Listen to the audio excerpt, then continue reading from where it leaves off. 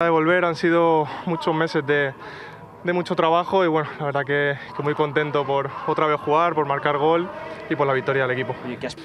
Bueno, pues mucha emoción y, y, satisfacción porque al final, como he dicho, hay mucho trabajo detrás de, detrás de esto. Eh, lo más importante es que, que, me encuentro bien, que hemos ganado y que, y que estoy para la recta final de, de la temporada. Y luego tenemos que, que, ganar y bueno, nos centramos ahora en el partido de la Real Sociedad, que es el próximo objetivo que tenemos en mente.